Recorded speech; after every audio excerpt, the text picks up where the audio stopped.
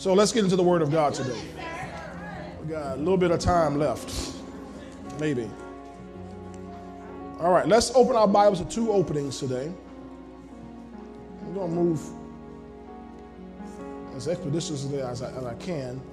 Uh, Mark 11 and Hebrews 10. Mark 11 and Hebrews 10. Hallelujah. Thank God again for all of our guests that are here. We appreciate you being a part of our service today. Mark 11 and Hebrews 10. Okay? Okay, let's read Mark 11, verse 22 and 23. You got it? Yes, sir. Read it together. Ready, read. So Jesus answered and said to them, Have faith in God. For surely I say to you, whoever says to this mountain, Be removed and be cast into the sea, and does not doubt in his heart, but believes that those things he says will be done, he will have whatever he says. That's good, isn't it? Praise the Lord. All right, now let's go to Hebrews 10 and verse 23. Hebrews 10 and verse 23. All right? Let's read that together. Ready, read. Let us hold fast the confession of our hope without wavering, for he who promised is faithful. Let's do a favor. Switch that to the King James for me on this verse here. All right, let's read that together. Ready, read. Let us hold fast the profession of our faith without wavering, for he is faithful that promise. For he is faithful that promise. Amen. So let us hold fast our confession. I want to today talk about, use this for a subject, an instruction to you. Keep speaking. Keep speaking. Okay? Thank you, Lord, today for the word we're about to receive. We receive it with thanksgiving. We receive it with meekness, Lord, because it's able to save our very souls. We receive the word, Lord, not as not as the word of men, but as it is in truth, your word, which works effectively in those of us who believe. And we declare today, we believe your word, every jot and tittle of it, Father, every part of it. Your word is truth. God, you cannot lie. So we receive what you have to say to us, and we will apply to our lives immediately and thank you for the results that we shall see. We pray in Jesus' name. Amen and amen. All right, take your seats today. Look at your neighbor and say, Keep speaking. Keep speaking. Hallelujah. Keep speaking. God made you and I a speaking spirit or speaking spirits. The Bible says when God breathed the breath of life into Adam, Adam became a living soul. In the original Hebrew, it'll talk about uh, Adam became a speaking spirit. So God created you to speak, right? Yes, and that's how God got things done on the earth, and that's how you and I will get things done on the earth. So we've been talking here for the last uh, three or four weeks. Uh, this series, I, well, the series has been about the fruit of our lips. Right. Remember how I started out talking about how uh, in uh, Proverbs, let's see, Proverbs 12 and verse 14. Give me that on the screen, please, real quick. Proverbs 12, verse 14. A man will be satisfied with good by what? The fruit, the fruit of his mouth. The fruit of his mouth. So you are satisfied with good by the government, no. by the administration, no. or by what? Fruit. The fruit of your mouth. Okay, let's look at Proverbs 13 and verse 2. Proverbs 13, verse 2. Glory to God. A man shall eat well by what? The fruit of his mouth. So you shall eat well. That, that's not just talking about you filling your belly up with, with taters and, you know, uh, yams and all that kind of stuff. It's talking about your life being uh, fed well by the fruit of your mouth. So how you enjoy life is based on what you speak out of your mouth. Okay? Then we looked at Proverbs uh, 18 and verse 20. Proverbs 18, verse 20. Glory to God. A man's stomach shall be satisfied from what? The fruit of his mouth, from the produce of his lips, he shall be filled. Verse 21 goes on to say this Death and life are in what? And those who love it will eat its fruit. So, what we talked about how is that how you need to have fruit coming out of your mouth. And but the issue with most believers, when you get into a word of faith church or a faith camp, or whatever you want to call it, it uh, is that we don't have fruit out of, coming out of our mouths. We have seed coming out of our mouths we're spitting seeds. And, and seeds don't produce anything for your life. Seeds produce something in your heart. But fruit has to come out of your mouth or out of your lips. And for fruit to be there, there must be a tree there. Remember this. This is my last message on this series here, so I got to review. So you got to have a tree. In order for there to be a tree, you got to have seed. So you get the seed of the word of God, and then you speak the seed of the word of God into your heart. Into your heart. You're speaking into your heart. Most time people get the seed of the word and try to speak it out of their mouths, trying to produce something. No, but that's not how it works. You're moving too fast. You speak the word of God into your own heart, into your own heart until you believe it and you, you, you, you're convinced and persuaded by the word of God. Now that you have a tree there, your tree now has fruit, and now you can release fruit from your mouth. And when you release fruit from your mouth, the Bible says that God creates the fruit of your lips. Got it? All right, I don't have time to stay there. Some of y'all looking confused. Um, I admonish you go back over these messages. Okay? Now let me just preach all this stuff to you and you just you don't go back over it because if you don't go back over you're not going to get it you don't get it the first time tell your neighbor you never get it the first time so you got to go back over it over and over again okay all right so now uh, titus 2 verse 10 in the uh, new testament for everyone version let's pick this up here all right titus 2.10 new testament for everyone it says they are to show good faith in everything so that in every way they may be a what for the teaching of God our Savior. So you and I, our lives are supposed to be a good advertisement for the Word of God. So whatever the Word of God says, we ought to be living it out, demonstrating. My life is an advertisement for the Word of God. That's why there are things that my wife and I cannot do that maybe, maybe some other people can do. I'm not talking about sin. I'm not, talking about. I'm not talking about that. None, none of us can do that. I'm talking about. I'm talking about there are things we cannot do that we've made a quality decision that we won't do because we're we're we're God's advertisement right out front. For example, so let me talk about debt.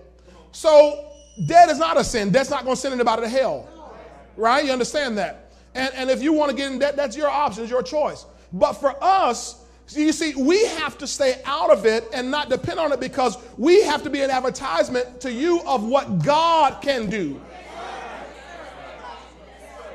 You understand? So that's why we don't condemn anybody else if that's what you do, but we have to go through the, to the highest level of this thing.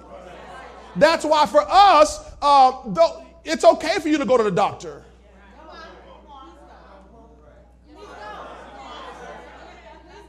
But for us, if we went to the doctor, God wouldn't, wouldn't condemn us. He wouldn't send us to hell. He wouldn't, he wouldn't beat us. He wouldn't even be, even be disappointed in us. But he wants to use us as an advertisement of what the word can do. You understand that? So that's why, in no way, shape, or form are we ever trying to condemn anybody or put you down or make you feel like you're not a faith person because you do whatever, whatever, whatever. We're just saying that for us, we have to go on the highest level of everything. Can y'all handle that? All right. To show you it can be done. Isaiah 62, verse 10, God tells us to go through the gates. Go, go through the gates. He says, prepare the way for the people. Build up, build up the highway. Take out the stones, lift up a banner for the people. In other words, our job is to say, hey, you can do it. You can do it this way. We're the advertisement. Come on in, get jump on in. The water's fine. God will take care of you. Won't He do it? Won't He will? Right? Y'all got it? Okay. Now, so I preached uh, already four messages to you. All right, number one, you can have whatever you say. Remember that? You can have whatever you say. And based on Mark 11 23, I taught you three, three things in that. You can have the faith of God. I taught you you can speak to things, and you can have whatever you say. Tell your neighbor, you can have whatever you say. Tell somebody else, you can have whatever you say. That's good. People don't want to believe that, but it, it, it's true. Who said it? Jesus. So it's stupid to argue with Jesus. Right? So you can have whatever you say. Then we went into this next message. I'm just speeding up here. The spirit of faith. 2 Corinthians 4.13, we believe and therefore we speak. I talked about the spirit of faith, how you got to get way off just the letter and get over to meditating the word of God, praying in tongues over the word of God until the word of God becomes real to you so that when you speak it, the spirit of faith is released so that you're not just speaking out faith words, you're speaking faith filled words. A lot of people have faith words. They speak good, good talk, good faith words. They, they, they know how to speak the, the faith jargon. You know, there's faith lingo. There, there's a faith language we all have. I'm blessed and highly favored. That's faith words. But many times those words don't produce anything if they're not coming out of the abundance of your heart. If the spirit of faith is not there. So you got to spend time with God to, to, let the spirit of faith uh, send these words from your mouth. All right? Number three, I preach this message entitled Confessions from a Clear Conscience. Confessions from a Clear Conscience. Romans 9 1. Get on the screen for me, please, because this is important. Romans 9 1. I want to stay here just a little second. Just a little second. Romans 9 1, Paul says here, I tell the truth in Christ, I am not lying. My conscience also bear me witness in the Holy Spirit. So he said, I tell the truth. What he's, what he's about to say to them, I'm telling you the truth in Christ. I'm not lying. So I talked about how when you confess uh, faith filled words, those words have to come from a, a clear conscience because your conscience is, is the gauge of your spirit. Your conscience knows whether you're lying or telling the truth. That's why people, when they, when they take polygraph tests, a lot of the tests. That, that, that needle will go crazy because they're, they're, they're not telling the truth because their conscience always tells them. I, I was thinking about this. How many of y'all remember uh, uh, high school English lit? English literature. There's a book we read, uh, most of us in this county, by Edgar Allan Poe called The Telltale Heart. Some of y'all read that, reading it now? The Telltale Heart. It's, it's about this guy uh, who had murdered this old man. And, uh, and uh, he, when he murdered, murdered the old man, he took the, man, took the man's body apart and buried it uh, beneath the floorboards of the house. And he stayed in the house. And so he, he, he thought he had gotten away with it. And the police came and they were looking for this man. Hey, where's the old man? Oh, we don't, he's on a journey somewhere. He's on a journey somewhere. But what happened while he's sitting, sitting there talking to the police officers, um, all of a sudden he starts, starts hearing boom, boom, boom, boom, boom. Now the police officers, they don't hear it. But his conscience is still hearing that man's heartbeat to the point it gets so loud he confesses, I did it, I did it, I killed him, I killed the man. Why? Because you can never get away from your conscience. Your conscience knows what's really happening with you. And so what happens when, when, when remember I gave you the scripture uh, at the same time on this message, uh, Joel 3 verse 10, when God says, let the weak say I am strong. And so here you are being weak, and God's telling you to say, I am strong. The problem is your conscience says you're lying. Come on. Come on, sir. Although if God said it, this must be the truth. But for you and me to speak it, it, it sounds like a lie to me at first. So I've got to spend time with the Word of God, spend time meditating, spend time praying, spend time getting fully persuaded so that what sounds what sounded like a lie no longer sounds like a lie. Now it is, it sounds like the truth that it is. Now my conscience is clear. Go back to Romans 9, verse 1. Now my conscience bears me witness in the Holy Ghost, in the Holy Spirit. So now in Christ I speak the truth. You understand this here? So now when I say I am rich, I'm not lying. I'm not lying. Because I'm speaking in Christ. Oh, that's important. I'm speaking in Christ. When I say I am healed, even though uh, you might have pain in your body, you might be on a, on a crutch or a wheelchair or on a sick bed. When you say you say you are healed, you got you understand you're saying you're healed in Christ. And if you meditate that long enough and understand you're speaking from your in Christ perspective, your in Christ image, it's no longer a lie to you. Now you can speak it and confess it because you don't see yourself in your body. You see yourself in Christ. You don't see yourself in your family line or in your bloodline. You see yourself in Christ's bloodline. Got it? All right, now, now, there's a scripture here I want to make sure I want to bring up to you here. 2 Corinthians 1:20. 2 Corinthians 1:20. Glory to God. How do y'all know 2 Corinthians 1:20? Uh, y'all know it. It's on the screen. We're going to help you out. We're going to cheat. All right. Read it with me. It says, For all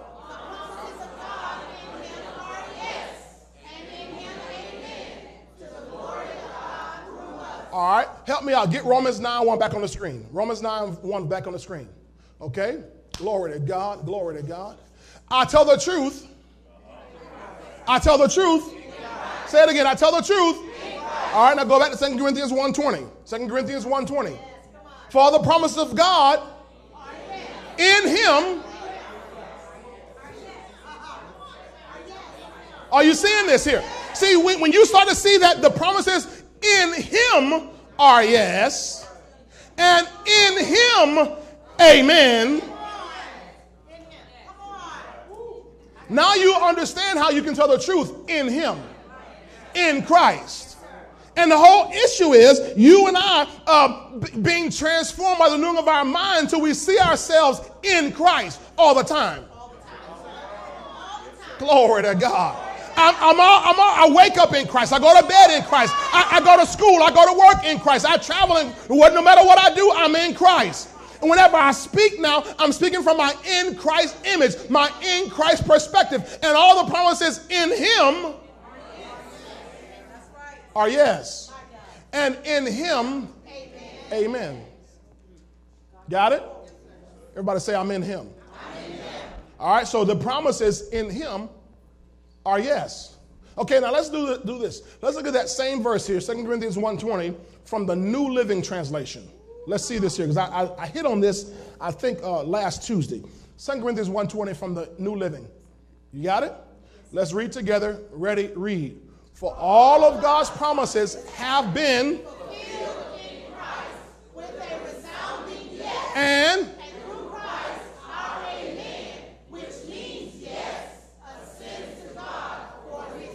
Did you see something right there? It says all of God's promises have been fulfilled.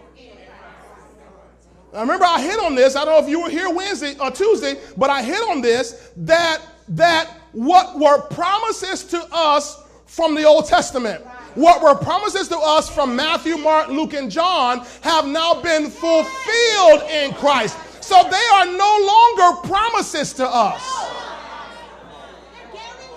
They are facts, F A C T S, for us. Oh, God. You understand that? So healing for you is not a promise. Healing for you is a fact. Wealth for you is not a promise. Wealth for you is a fact. New life for you is not a promise. New life for you is a fact. Being blessed is not a promise. Being blessed is a fact. You don't have to pray, Lord, bless me. You are blessed already. It's a fact. You understand that? The promises are, they have been fulfilled. So the promises, even we pray the promise of Deuteronomy 28 and do the promise of Psalm 91. We pray the promise of, of, Leviticus 26. We pray all these promises that are found in the Word of God. And that's great. But you understand, you, you, you got you gotta start praying from the other side of the cross.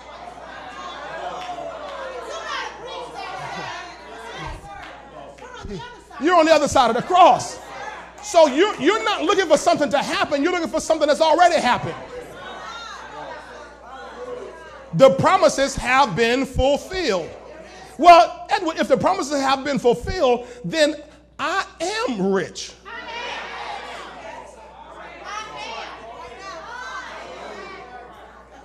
Oh, I dare you to say, I am rich.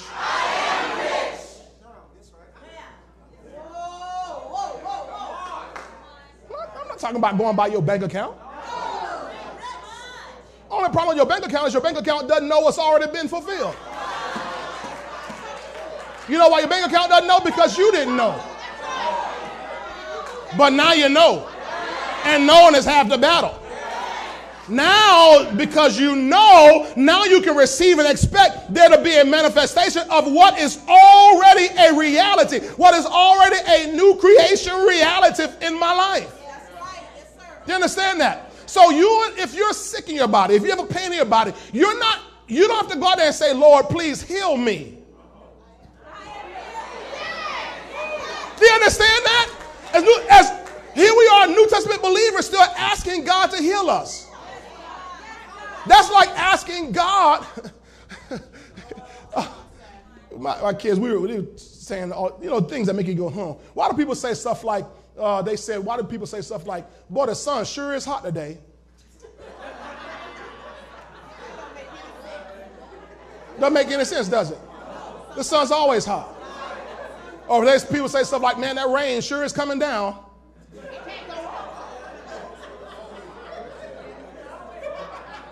Right? But that's about as weird as us getting up in the morning and saying, Lord, bless me.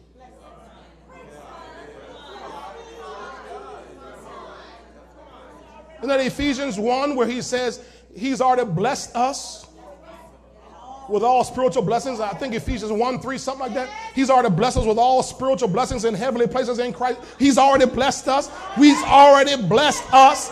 We're already blessed.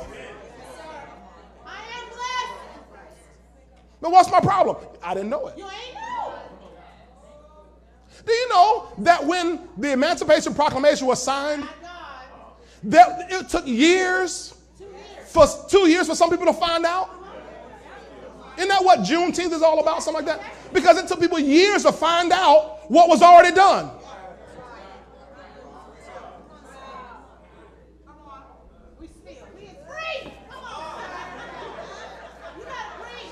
Um, there's, a, there's a scripture, Lord have mercy. I'm getting off track, but y'all just, I'm, I'm on track, but I'm off, I'm, I'm, I'm on track. Um, this scripture here, uh, John 8:32, 8:31. Let's start John 8:31. Watch this. Then Jesus said to those Jews who believed him, "If you what abide in my word, come on, you are my disciples indeed. Now let's look at verse 32. You all have heard this and you've read it before. You know it. Verse 32. And you shall know the truth, and the truth shall make you free. Give me the King James on that, please. Verse 32. Okay, and the truth shall make you free. I just want to make sure we, we can go King James on his. All right? So you shall know the truth, and the truth shall make you free. Make or set? Make. Make or set? Make. What does it say? Make. Make. All right? People quote it and say, the truth shall set you free. But no, it says the truth shall make you free.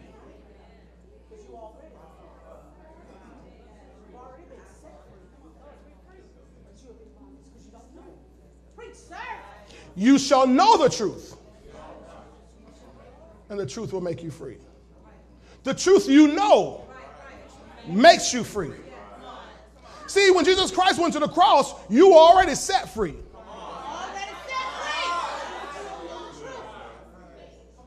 But once you know it, now I'm made free. You understand? When he went to the cross, when he got up from the grave, you were made rich. You were made healthy. You were made the righteousness of God in Christ Jesus. You were made blessed with the blessing of Abraham. But now, but now once you know, I mean, know, that word know is actually a, an, an intimacy word. And as a, y'all know what I mean? It's a real, in, like, like, like Adam knew Eve. It's a know. So you have to know truth. Not heard of, not just acquainted with, but know. No, I'll just use it. It's, it, it's y'all know the word. Okay. it's a very intimate know.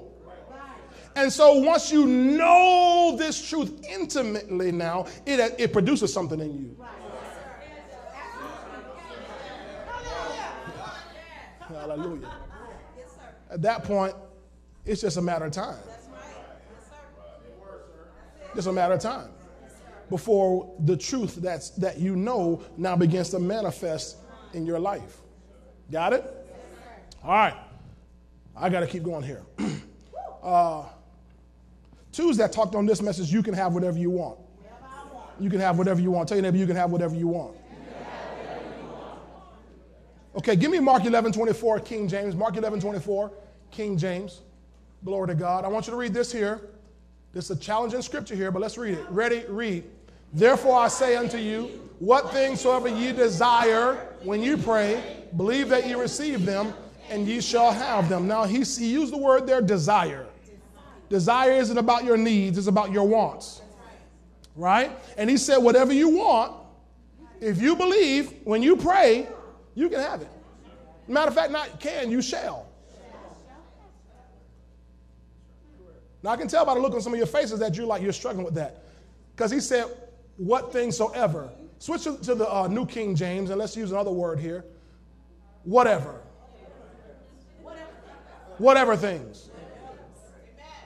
Whatever things. Tell neighbor, whatever things. Tell them whatever you want. You can have it. All right? Now that's that's far fetched for some religious folk. They don't believe I can have whatever I want because no, no, I don't want to get all that sin. First of all, Jesus Christ starts out in verse in this verse 22 talking about have faith in God. So he's talking to people who are going to have faith in God.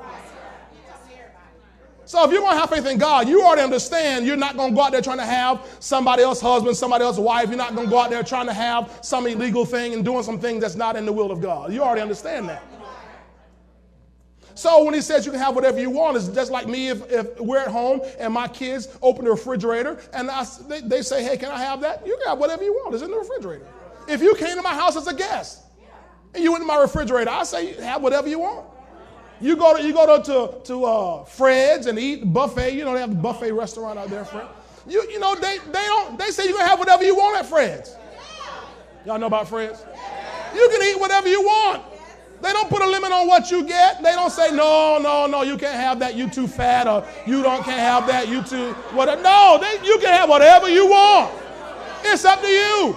The price has been paid, and the price includes everything. I can get dessert too? Yes, it's already covered in the price.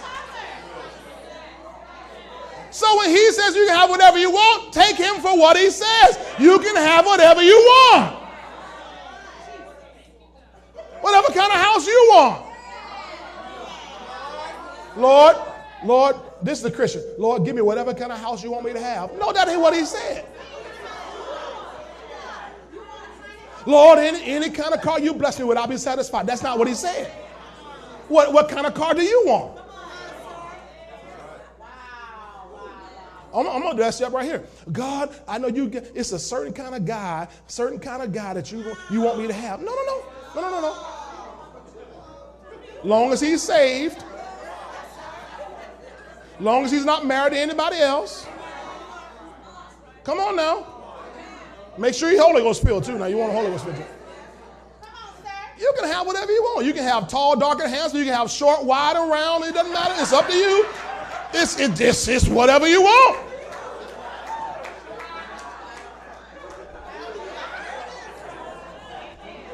Hey, that's somebody for everybody. It's whatever you want.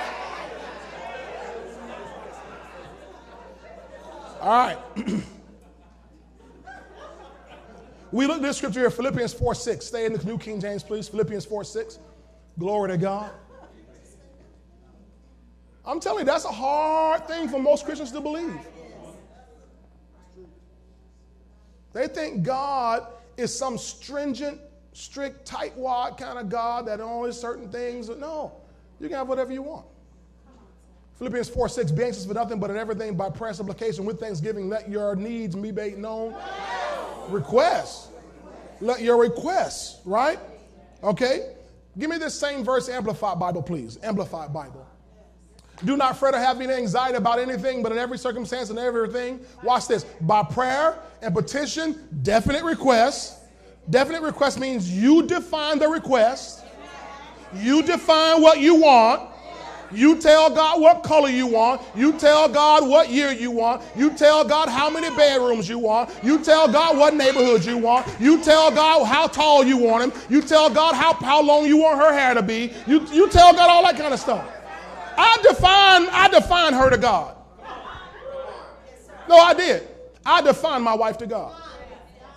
One day I remember my, my friend, my best friend at the time, uh, you remember my best friend, you remember, he was, he, he, he said, man, I said, man, I, you know, I, I got to get married, bro. Because I'm ready for a wife. He said, well, what you looking for? So all of a sudden, I don't know where this came from, except God must have put it in me. I said, he, he started asking about, about, you know, about what kind of height. I said, kind of like Kimberly Oliver's height.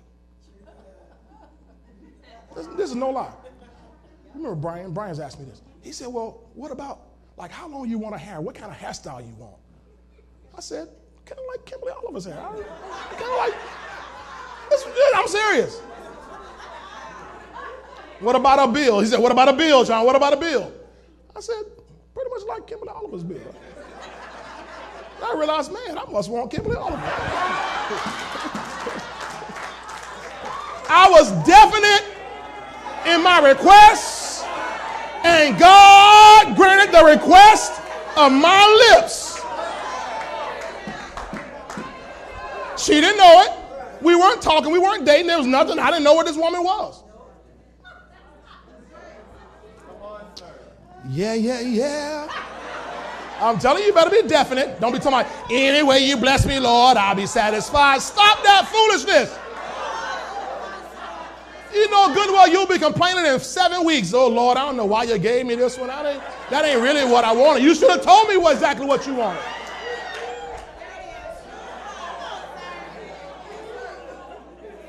Look, look at the scripture here, Psalm 21. Get, get Psalm 21, verse 1, and let's, let's go right to the message Bible, please. Psalm 21 and verse 1. I love this here. This is David. David was a man after God's own heart. Watch this. It says a David psalm. He says, this is what David says Your strength, God, is the king's strength. Helped, he's hollering, hosannas. I like the way the message Bible puts that stuff. Watch verse 2. Watch what David says. You gave him exactly what he wanted. God wants to give you exactly what you want. Some of us need, need, to sit down and really get an idea of what we want. Some of us, we don't even actually know what we want. I'm looking for a husband. You, ain't, you don't just want just a husband.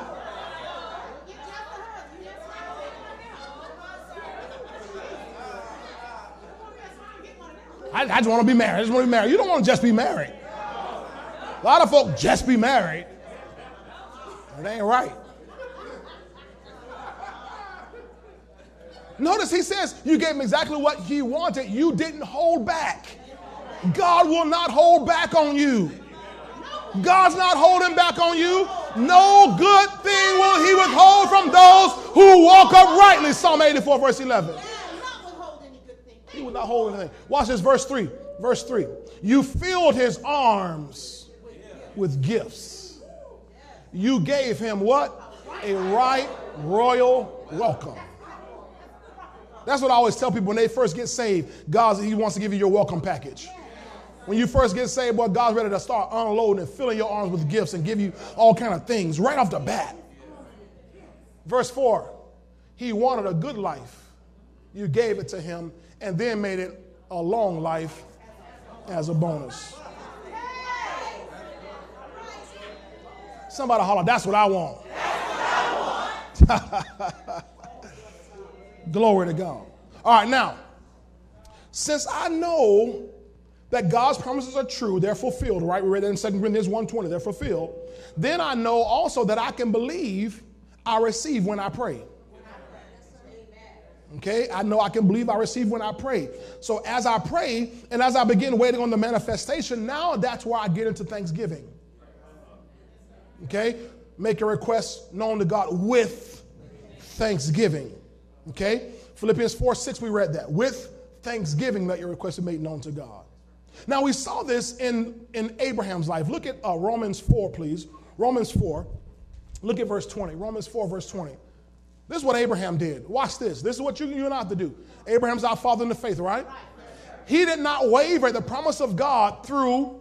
Unbelief. So he didn't waver at the promise through unbelief, but was strengthened in faith. How? Giving glory to God. Or we could say through thanksgiving. So his thanksgiving strengthened his faith. So God made the promise. He finally believed the promise. Now he, he accepts, I'm going to have this baby. I'm going to have this child. My name's already been changed to Abraham. I believe God is right. So now he gets over into thanksgiving, into giving glory to God. And every time he did that, for the years that it took for it to manifest, he was being strengthened in faith. He was growing in faith, giving glory to God. Verse 21, add that here. And being fully convinced or persuaded that what he, God, had promised, he was also able to perform. So he became convinced. That's right. So many people, we stop uh, in the body of Christ, stop at the fact that God promised it. That's right. But don't keep going to the fact that God is able to perform it for me. Even when we see God doing things in other people's lives, we figure, well, they they must have greater faith than I do.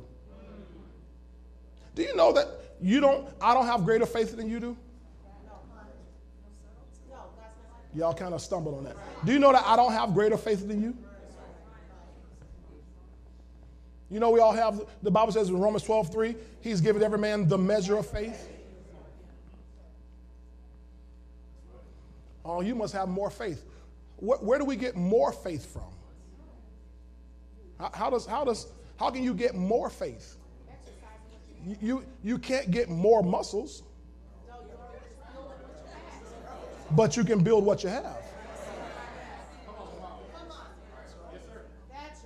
Glory to God. TJ, come here. I'm going to show you this. TJ, and uh, TJ's got some muscles. Let me see who might not. Dimitri, come here. Come here. Come here, Dimitri. Come here. Oh, he's got muscles. Don't, don't, let, don't let the shirt. Come on, man. Give me two chairs real quick. Two chairs. Watch this. I'm going to just show you something. Chair here, chair here. Facing you Facing out. TJ, you stand behind this one. Dimitri, you stand behind this one. All right, I want you to grab the, this chair here, just like this. Watch, let me show you. Like this, and just hold it. Straight out. Arm straight out. Do the same thing. Hold it straight out. Now, do they both have muscles? Yes. yes. Okay, now y'all just keep on going. Okay, so. So, he's given every man, Romans 12, 3, the measure of faith. A measure of faith. So we all have faith, right? Right? Everybody has faith. Faith comes by hearing, hearing comes by the word of God. Okay? Now, so as you keep working your faith, you keep working your faith, you will you will increase your muscle strength, but it's the, still the same muscles. You gotta hold it straight out now, Dimitri. Straight out, straight out, straight out, straight out, straight out. Extend those arms, buddy. Extend those arms straight out. If, if you're tired, say you're tired. Tired.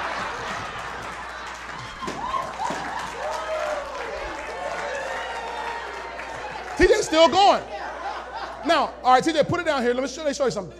Remember when we talk about great faith, a little faith? Remember, here, here's Peter, see Jesus Christ on the water. Peter says, Lord, if it's you, bid me come or allow me to come to you. Jesus said, Come. So Peter starts walking on the water by faith. All of a sudden, he looks at the wind and the waves, and they, they get all boisterous, and he begins to sing, and he cries out, Lord, save me. Jesus Christ reach out, reaches out his arm, saves him, and Jesus says, Peter, oh, you of little faith, why did you doubt? When he says little faith, he wasn't talking about the amount of faith Peter had. Little faith means short lived. They both have muscles. His muscles were short lived in relation to this obstacle. I'm not picking on this, this. I love this young man here. But I wasn't expecting him to hold it longer than him. Yeah, his, his man help still coming in. His voice is starting to get deep. But you understand that? Short lived faith. So you have faith. Everybody say, I have faith. I have faith. See, and the more I build and work my faith, my faith gets where it lives longer. My faith endures. So Abraham, the way he was strengthened in faith was he gave glory to God or through thanksgiving. Father, I thank you, I thank you, I thank you that what you said, what you promised, it is coming to pass in my life. It is a promise, it is sure. You got it? Thank you, guys. Y'all can put those chairs back. Give them a hand. Let them. Oh, he got both chairs. That's.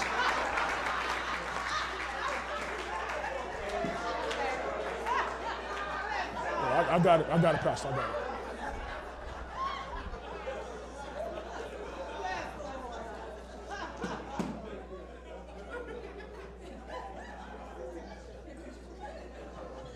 So Romans 4, verse 20. Romans 4, verse 20. Look at it again one more time.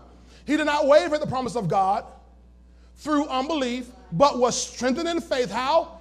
Giving glory to God or through his thanksgiving.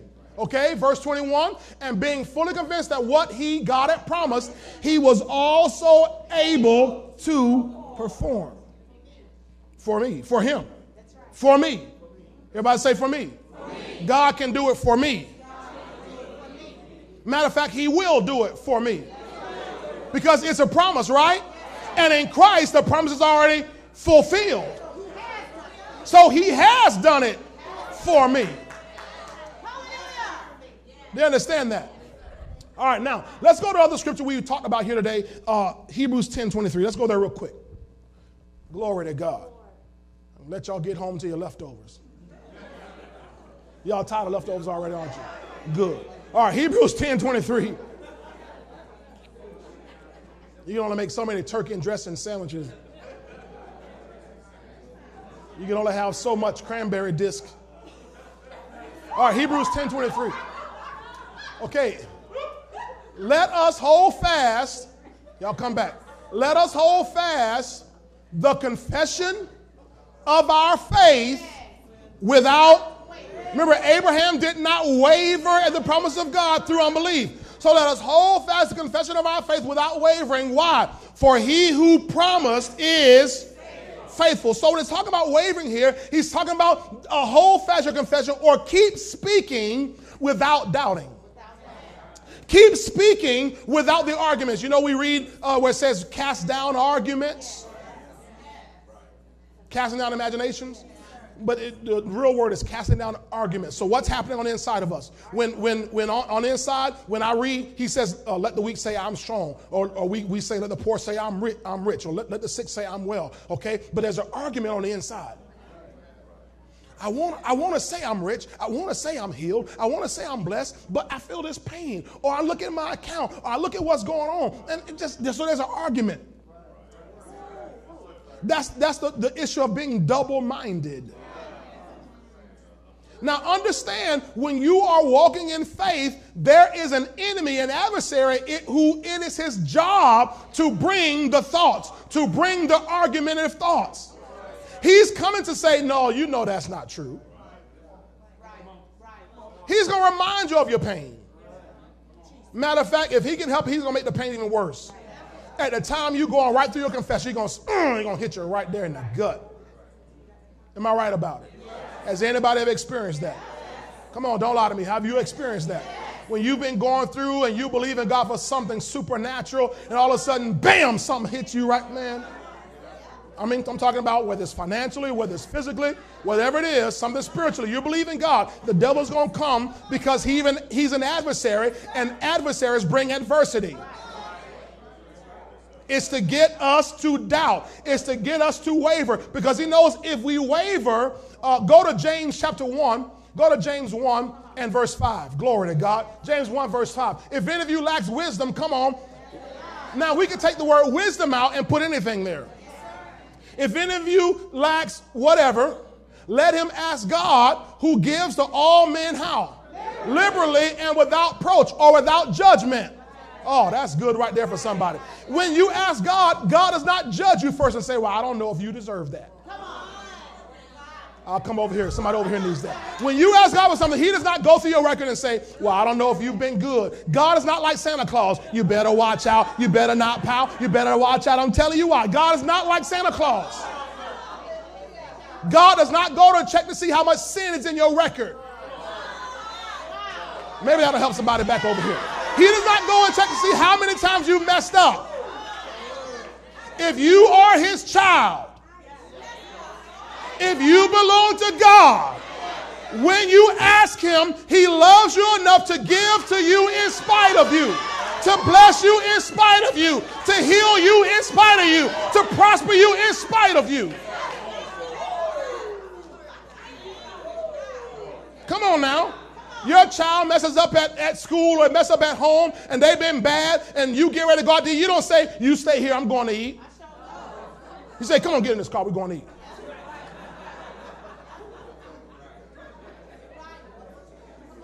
And then your heart's so soft, you say, You want some ice cream? Why? Because you love them past all their stuff. If you, being evil, know how to give good gifts to your children, how much more will your heavenly Father give good things to those who ask Him? Y'all got that? Think that's Matthew 7 11, something like that.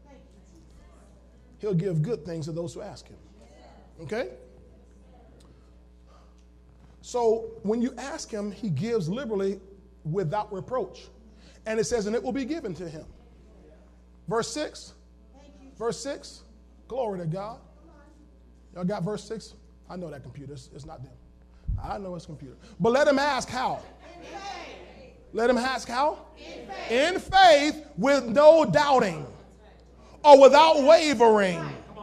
For he who doubts is like a wave of the sea driven and tossed by the wind. Verse 7 For let not that man suppose, what let not what man? That man who wavers.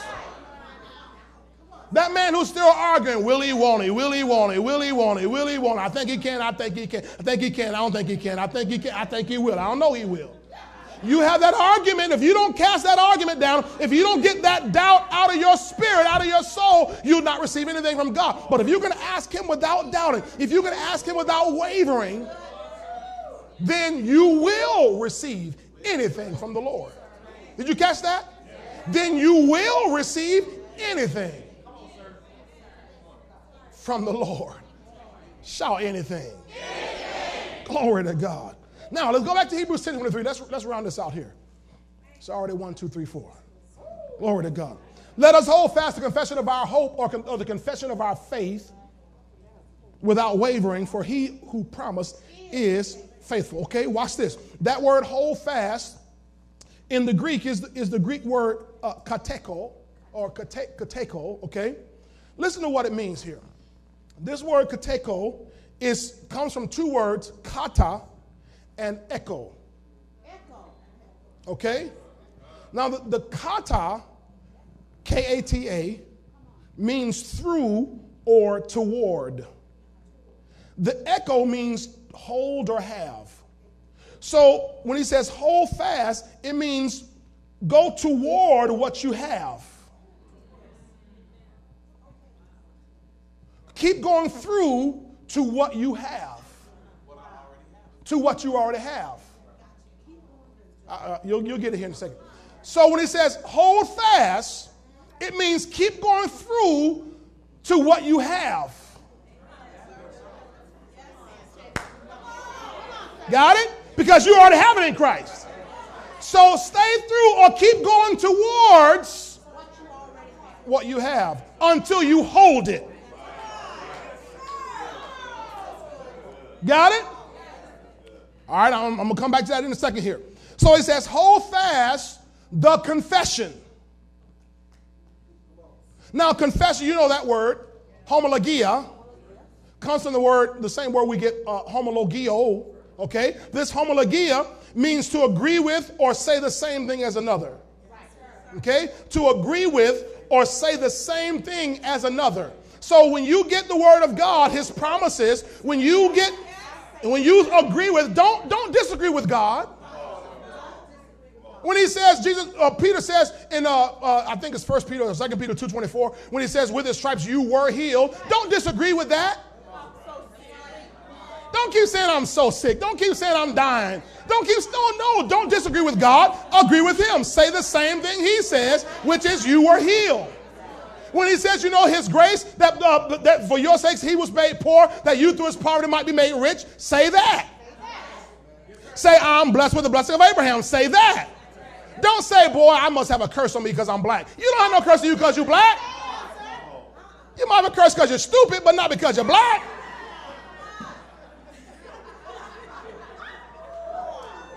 Say the same thing God's word says. Homologia and he says, hold fast to it. Now, that word hold fast, I told you, is, two words, kata and echo. That ECHO is where we get the our English word echo. What does echo mean? It's, it's a repetitive sound. It, It's when a sound has been made, you continue to hear that same sound over and over and over and over again. He says hold fast your confession, he means keep repeating your confession over and over and over and over again. Every time you go somewhere, that confession is, is oh my God. When you speak, your, your voice hits a wall and comes back at you. Good God. That's how that, that's why you get echoes. Because your sound goes out. The sound waves go out. They hit an obstacle and they come back at you. So keep speaking and you know you're getting closer when the echo gets louder.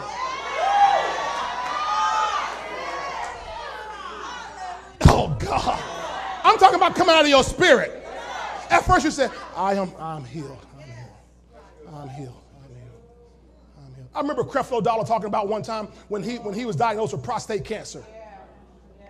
Doctor gave him a, poor, a, bad, a bad prognosis. Hey, uh, you're not going to live much longer. You got prostate cancer. And he said he went down, got it, went into his basement, told his wife, hey, I don't want no calls, nothing. Went down there with a, with a, a jar, a gallon of water and his Bible and some tapes and began to get into the Word of God, meditate the Word of God, pray in the Spirit. He just kept doing it, kept doing it, kept doing it, kept doing it. And he was such, oh, you know, I'm healed, I'm healed, I'm healed. He's, he's, you're trying to force yourself to say it. I'm healed, I'm healed. But he kept doing it so long until that echo started getting louder. Until it gets, and finally one day he just busts out, I'm healed. And he said he ripped his shirt open, and man, he was he knew he was healed. Went to the doctor said, Doctor, check me out again. And this time when the doctor checked him out, all signs, all traces of the prostate cancer were gone from his body. Not the doctor's treatment, God's treatment. He was already healed before he got sick. But he had to get that echo going out of his spirit. He had to get his echocardiogram out of his own. Oh my God. He died. Oh my God. Out of the abundance of your heart, your mouth speaks. You get your own EKG going. My heart beats healed. My heart beats rich. My heart beats prosperous. My heart beats righteous. My heart beats blessed. My heart beats.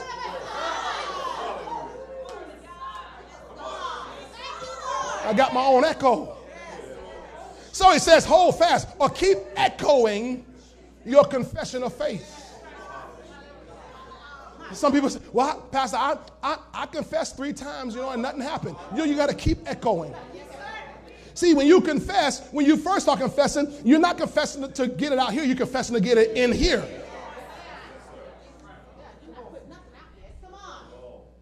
But if you keep going, it'll get stronger and stronger. All right, watch this. Let me finish up here. He says here, uh, for he who promised is faithful. Remember, the promises have been already fulfilled, right? Okay, faithful is the Greek word pistos, P I S T O S, which means trusty, faithful.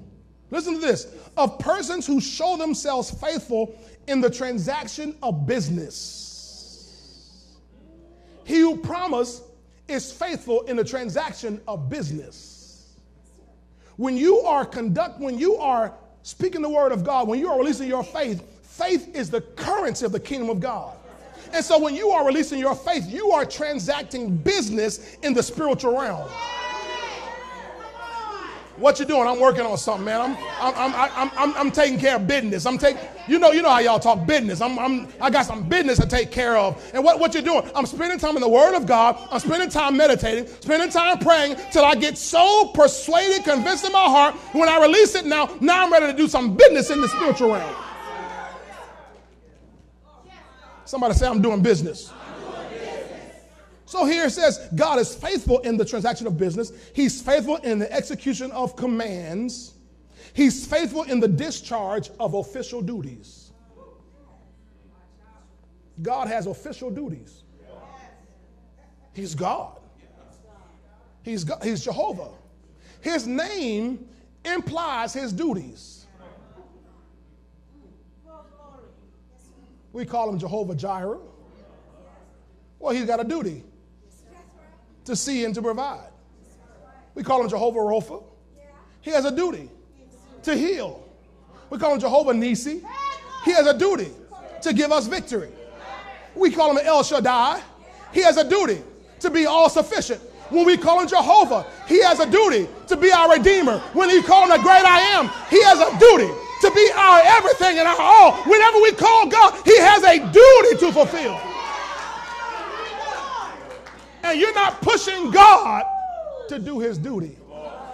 He wants to do.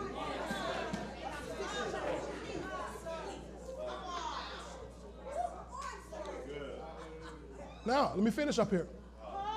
So, go back to Hebrews 10 23. Glory to God. So hold fast the confession of your hope without wavering. For he who promised is what? Is faithful. All right, now watch this. So if I stay in agreement with God, if I keep speaking his word, I'm going to show you something here. Angels are released to work on my behalf. Okay? Look at Psalm 103 real quick. Psalm 103. Give me 10 minutes. Psalm 103, verse 20. Psalm 103, verse 20. Bless the Lord, you his angels, come on, who excel in strength, who do his word, heeding the voice of his word. That word voice literally means sound. So the angels are listening for the sound of his word. So when you and I echo God's word, the angels are moving on our behalf. That's why you have to confess a homologia, his word. Don't say your words. They don't move on your words. They move on his words or they move on the sound of his words. So when he when God speaks, I echo what God speaks. That's why that morning, June 16th of this year, when God woke me up and said, financial miracles are happening in my life every day, I begin to echo God's words. And that's why five months later, I'm exactly debt free now. In five months, what I couldn't see because I echo God's words. And so angels begin to move on my behalf. They heed the voice or the sound of his word. Verse 21, watch this. Verse 21. Glory to God. Bless the Lord, all you his hosts, you ministers of his who do his pleasure. So these angels are serving at God's pleasure. They do God's will. And his will is to bless you. Whatever God has set up for you in your life, the angels of God are going about making everything happen. Mm-hmm. The angels brought my wife back to St. Pete.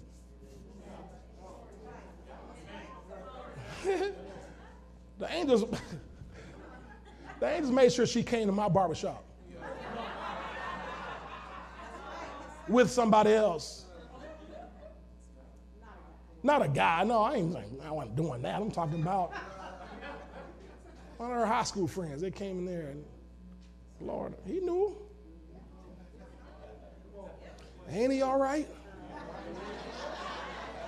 Hebrews 1:13. Hebrews 1:13. Watch this. Hebrews 1:13. Glory to God. But to which of the angels has he ever said, "Sit at my right hand till I make your enemies your footstool?" Verse 14. Are they the angels, not all ministering spirits sent forth to minister for those, not to, for those who will inherit salvation? So the angels are sent to minister for us. My God. But remember, they give heed, they give heed to the sound of his word. So when I speak the word of God, the angels go to, go to work on my behalf. They're ministering for me. My God. I, I found it interesting. I wish we had this translation up. Uh, I wish we had I don't think we have this. But the Wycliffe translation says in this same verse here, talks about those guys, those angels being ministering spirits, who minister for those who have uh, a, a healing heritage, a heritage of health.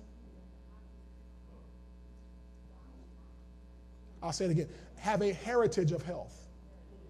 You understand that? That means health is part of your heritage. you don't you don't have to go find finding health. You don't have to go find a healing. It's part of your heritage. It means you have a new DNA. Diabetes is not part of your heritage anymore. Lupus is not part of your heritage anymore. Sickle cell anemia is not part of your heritage just because you're black. No, no, no, no, no, no. No, I have a heritage of health. All right. Okay, now. So angels work on our behalf when we speak the word of God. Angels respond to our, to our words. Now, let me show you one more place here. Then I'm, I'm, we might quit here. Daniel 10. Daniel 10. Hurry up. Daniel 10, 1 through 3. Glory to God. Watch this.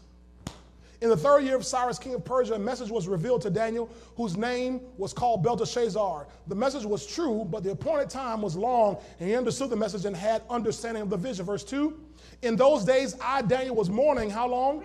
Three full weeks. Verse 3 I ate no pleasant food, no meat or wine came into my mouth, nor did I anoint myself at all, till three whole weeks were fulfilled. 21 days. Now, he didn't set out to fast 21 days. He just set up to fast how long it, however long it took to get a word. Come on. Got it? Now watch verse um, 10. Verse 10. Now on the 24th day of the first month, as I was by this verse, where did I tell you? 10. Verse 10, yeah. Suddenly a hand touched me, which made me tremble on my knees and on the palms of my hands. Verse 11.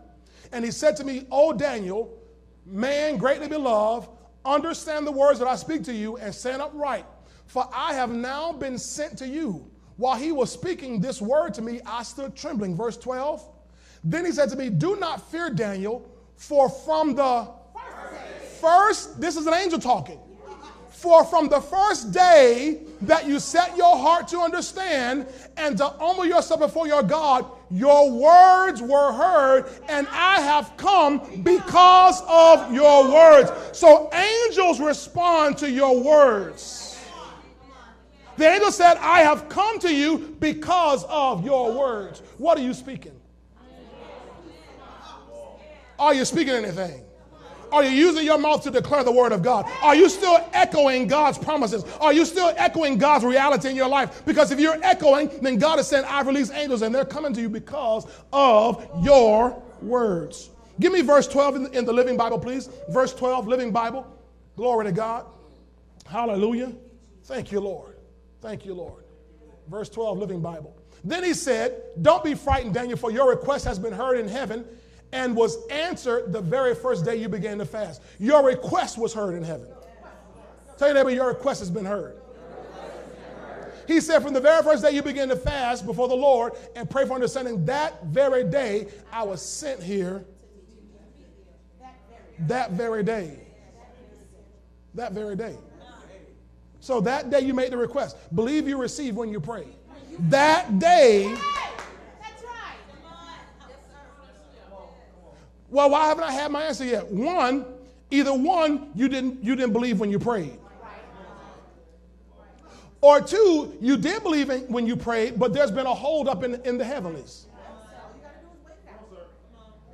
If you read the story, the angel will continue to talk and say how I was on my way here, but I got held up by the prince of Persia there was there was there was a struggle in the atmospheric realm in the spiritual realm and but then god sent reinforcements because daniel was still echoing daniel was still praying daniel was still talking daniel was still speaking and so god sent reinforcements to get a breakthrough in the heavens to make sure daniel got his word from god and if you will keep speaking if you will keep echoing, if you will not quit but continue, God will send reinforcements to make sure you get exactly what you requested for.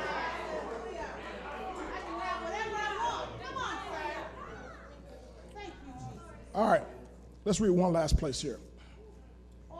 One last place. Mark 5 25. Amplified.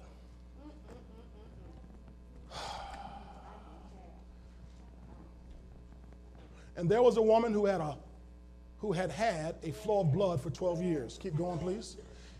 And who had endured much suffering under the hands of many physicians and had spent all that she had and was no better, but instead, come on, she kept going to the doctors and she didn't get better. She got worse. That happens, doesn't it? I said, that happens, doesn't it? Verse 27 She had heard the reports concerning Jesus, and she came up behind him in the throng and touched his garment. Verse 28 For she kept saying,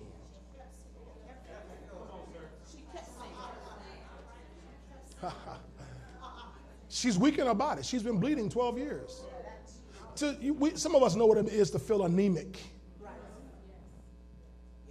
But bleeding 12 years, you don't have any idea about what kind of anemia and what loss of strength that she has. So she is weak. But in her weakness, she kept saying something. She kept saying, If I only touch his garments, I shall be. I shall be. I shall be. I'm weak in my body, but I shall be. If I can just touch him, I shall be.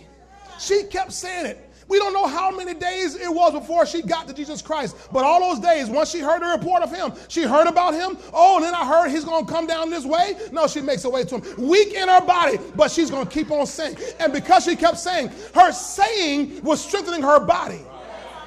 You didn't catch that. Her speaking was strengthening her body. 12 years, she has zero strength in her body. But she kept saying, and because she kept confessing, because she kept speaking, her body got strong enough to get to him. And she said, If I can just only touch his garments, I shall be restored to health. She kept saying, everybody say, she kept saying. She kept saying. Verse 29. Immediately, immediately her flow of blood was dried up at the source and suddenly she felt in her body that she was healed of her distressing ailment. She knew she was healed. Why? Because she kept saying. How do we know it's because she kept saying? Now watch this. Keep going. Verse 30.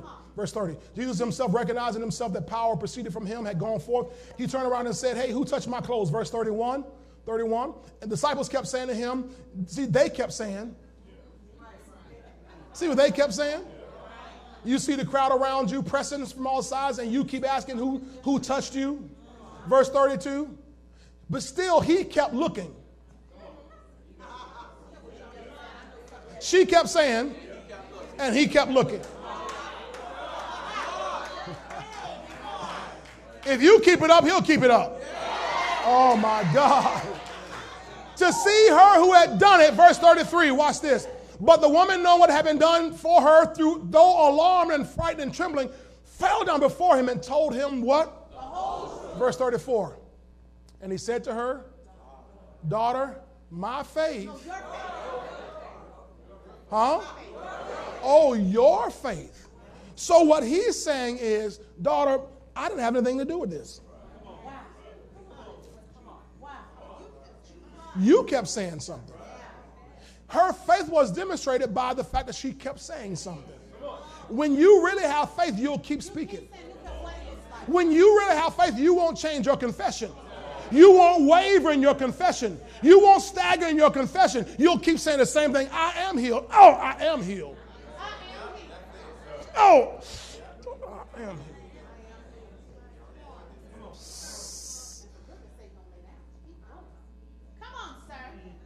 Your trust and confidence in me springing from faith in God has restored you to health. Go, I like this, go in or into peace and be continually. She's going to keep healing and freed from your distressing bodily disease. She kept saying, he kept looking, and the healing power kept going. Everything got restored. And he said, Your faith did this. Not Jesus' faith, your faith. In other words, your faith will receive or take everything God has for you. Why won't God do it for me? What do you mean, why won't God do it for you? God's already done it for you. Your faith just has to take it. And to do that, you've got to keep speaking from a, from a clear conscience. God, I am what your word says I am. He said to her, look, look at verse 34. Give me 34 in the New King James Version. Go back. I like this. No, give, give me the King James. Give me the, I, I like this word better. Your faith has made you whole. I like that. Your faith has made you, your faith has made you whole. Your faith has made you whole. So your faith will make you something. You got it? Not God's faith. God's already exemplified his faith when he gave Jesus Christ down on the cross. That was his faith in action. When he raised from the dead, that was his faith in action. Now it's your faith that brings things to pass in your life.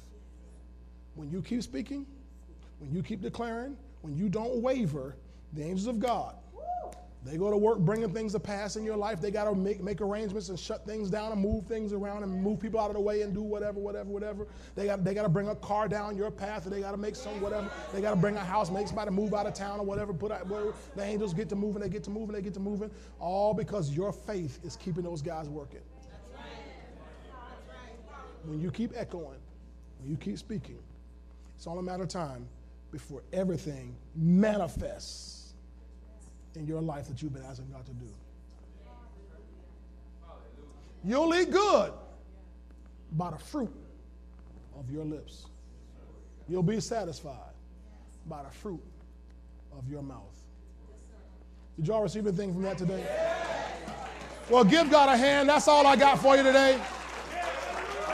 Come on, give God a praise if you received that today. Hallelujah, hallelujah, hallelujah, hallelujah. Glory to God, glory to God, glory to God, glory to God. Hallelujah, hallelujah, hallelujah. Don't change your confession. People have attacked faith. They've attacked and say you're the name it, claim it people, you're the word, the blab it, grab it, you're the confess it, possess it people. And they say that as if it's something derogatory. And yet, those same people who will say they're saved, they love the Lord, got saved by confessing. They possess something that they didn't have before. That's why when people get saved, it didn't say tell them to confess that they're a sinner. But they are sinners, aren't they? But he, he didn't say tell them confess that they're a sinner.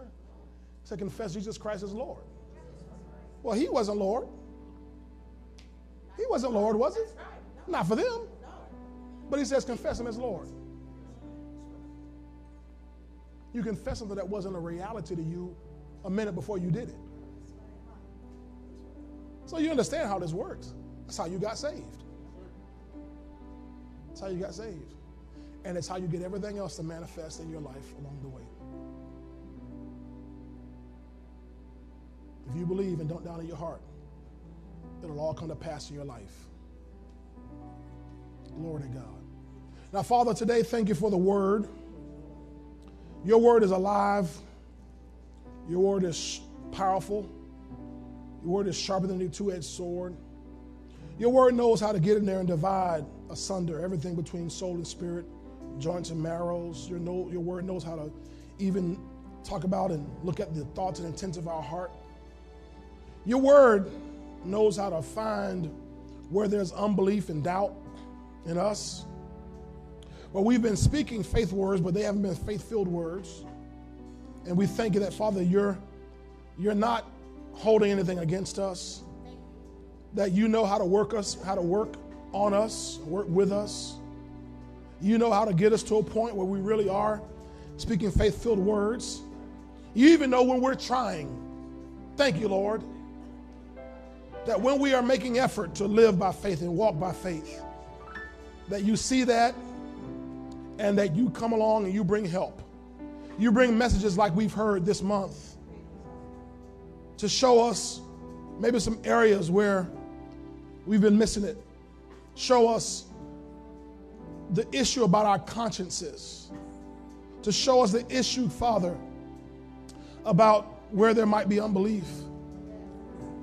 And I thank you that, Father, as you have done that for us, we now know what to do.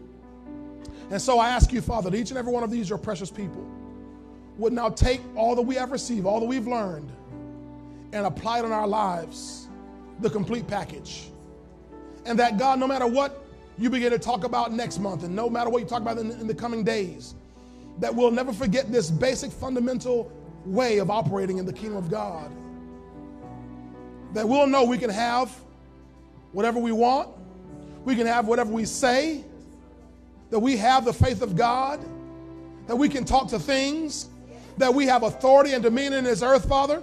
You said, Lord, that God, we can decree a thing and it'll be, it'll be established for us and light will shine on our ways.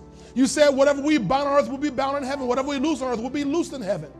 You have given us in the Lord authority on earth and in heaven. Wow. Thank you for that. And I pray, Father, that you'll show each person, even areas of our lives where we need to go and apply this right away.